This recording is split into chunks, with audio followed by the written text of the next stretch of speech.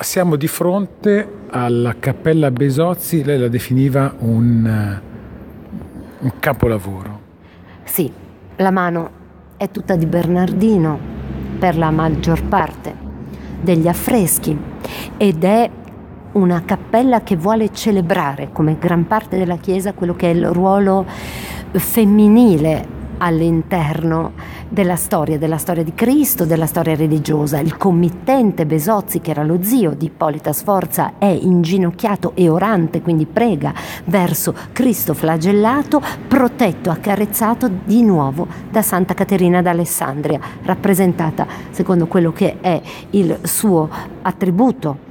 eh, classico dell'iconografia tradizionale, quindi la ruota dentata e subito nella parete di sinistra la si vede mezza nuda, inginocchiata eh, mentre prega e viene salvata dall'intervento dell'arcangelo Michele da quello che doveva essere il suo martirio, il suo supplizio, maciullata attraverso queste ruote dentate che eh, per volere di questo marito rifiutato, capriccioso, l'avrebbero dovuta distruggere e uccidere. La santa si presenta in primo piano con dietro questi corpi in scorcio che ricordano Mantegna, che ricordano tutta una lezione di pittura veneta che sicuramente Bernardino Luini aveva assorbito in quel momento suo formativo che a noi è poco noto, se non per alcune opere che hanno un carattere prettamente veneto. Però Santa Caterina d'Alessandria non si salva e dall'altra parete, quella a destra, si vede una nobildonna inginocchiata, pronta purtroppo a ricevere il colpo d'ascia del boia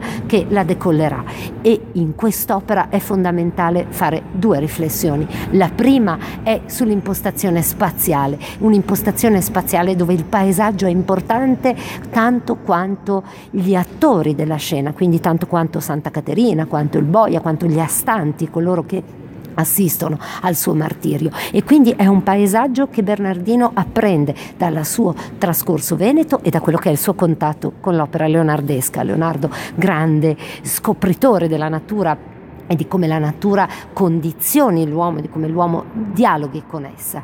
E la seconda riflessione che possiamo fare è proprio nel volto di Santa Caterina, inginocchiata a pregare, poco prima di morire noi ne notiamo le fattezze e le fattezze si distinguono da quelle dello stesso personaggio visto all'interno della cappella. Le fattezze di Santa Caterina nelle altre scene sono più simili a quelle delle sante idealizzate che abbiamo visto precedentemente. Questo è un ritratto dal vero invece quello della decollazione. E chi è? Molto probabilmente Bernardino volle fare un omaggio ad una nobildonna francese, Bianca Maria di Challant,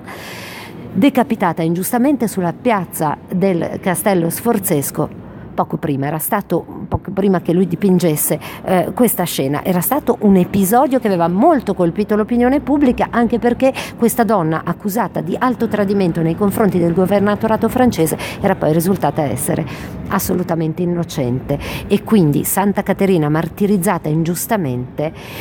dà